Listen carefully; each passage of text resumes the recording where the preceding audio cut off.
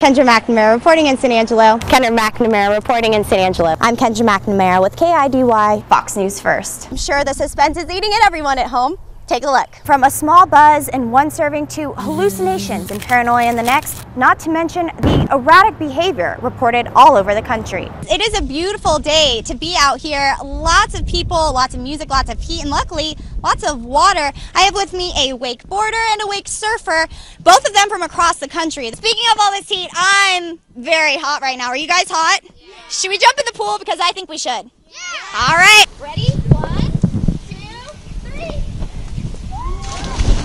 I can't explain why this letter was addressed to me, but what I do have tonight is a possible confirmation that the teen who's been missing for almost four months is alive. And let's face it, we live in West Texas. We don't know how to handle this. The only way we know how to handle it is to stay home and stay safe. Behind me, we have the Canine Unit Training. Officer Fincher is with his dog. We were first on the scene with EMT crews and the fire department. Not exactly sure where the drowning actually took place. Not gonna lie, right now it's a little windy little chilly and water's a little choppy, but hopefully, fingers crossed that that changes for tomorrow. 63-year-old Ray Castro Zapata, a bail bondsman, was booked into the Tom Green County Jail this morning. And the clock is ticking as a deadline looms for Congress to fund the Department of Homeland Security. And get this, the man in New York was stating that her four-year-old child was his own. Before changing the lives of those people here at Williams House, Leroy was one of them, making it really easy to spot someone out on the street that might be using it.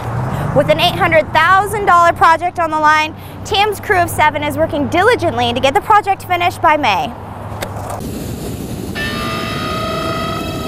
You have to get used to it. You have to adjust.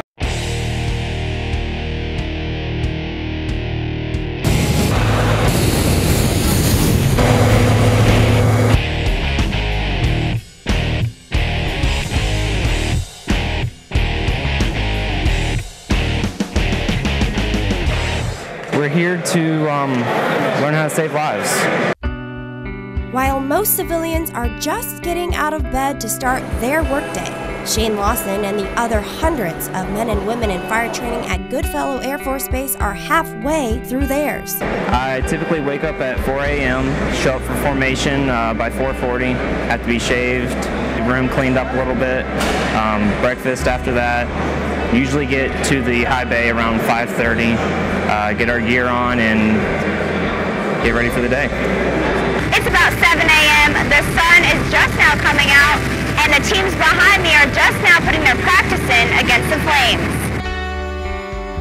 23-year-old Lawson, originally from Jacksonville, Florida, began his 68-day protection apprentice course at Goodfellow in December.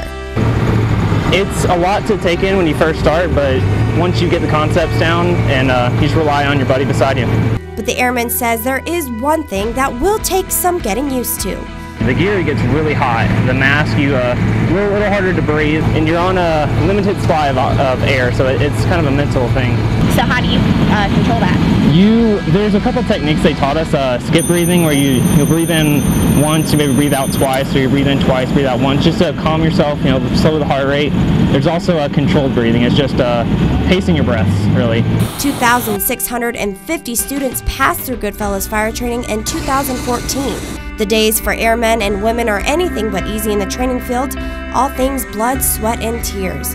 But at the end of the day, Lawson says it's the energy of his peers that keeps him motivated. It, it's contagious. Uh, you come to you come to work with a bunch of guys that are ready to work and get the job done. It, it makes it a lot easier. Kendra McNamara, Fox News First. Betsy Leonard and her crew at Hoffman's Cake Cottage are busy at work. There's Italian cream, there's German chocolate. We Between graduations, weddings, and social gatherings, cookies, cakes, and pies are in high demand, and the longtime owner says recipes get expensive. Expensive recipes, but eggs have always been one of her cheapest and most necessary ingredients. Uh, you know, an average cake uh, that you bake probably has three, uh, three or four eggs. A lot of times we do run over to Brotherton Produce and pick them up because we simply run out and didn't realize we had such a, a demand for the, the egg products that day. So it's unnerving to the 32 year baker when her most valuable item is on the rocks.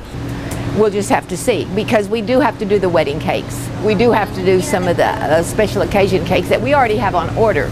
So we can't tell, hey, I can't get eggs, I can't do your wedding cake. That would not be a good thing. Normally, Hoffman's orders 60 dozen eggs twice a week from local Brotherton Produce. A dozen eggs usually cost Betsy $1.98. Now with the price increase, $2.50. So this egg that was once 17 cents is now 21 cents.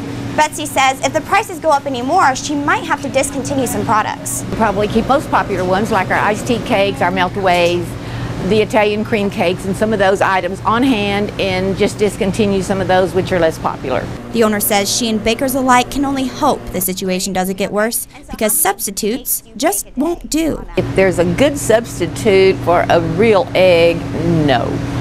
You know, it, it'll- it, there are substitutes, but it's not going to be the same. Unless Betsy sees a double in price of eggs, her prices will stay the same.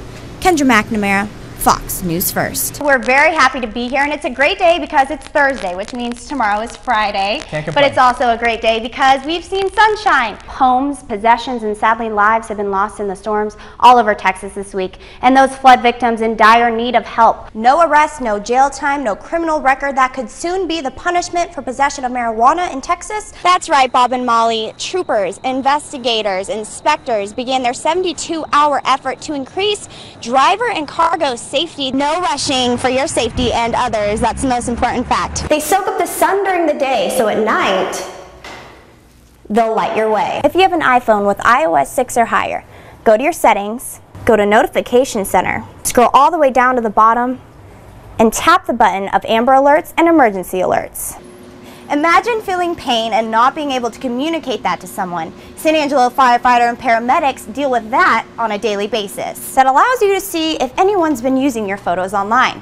You have to be at a